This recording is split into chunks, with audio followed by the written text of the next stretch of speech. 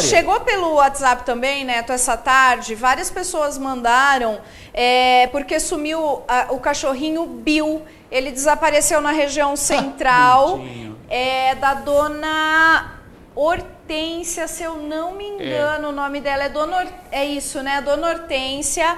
Várias pessoas mandaram, se eu não me engano, foi o, o genro dela, uma amiga também mandou desse cachorrinho. A dona Hortência Neto diz que é o companheirinho Puxa dela, viu? E ela tá muito triste.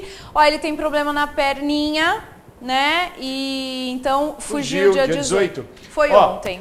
É, o cachorrinho ele acaba saindo, ele pega o portão aberto, né? Ele acaba saindo e não sabe voltar, na verdade, né? Daí se perde. Ele vai pegando rua, pegando rua, não sabe voltar. Quem encontrou o Bill, por favor, se alguém viu o Bill, recolhe o Bill, cuida do Bill e liga. Ah, liga nesse WhatsApp ou no telefone que está aí, ó, é o 991 98 2645 991.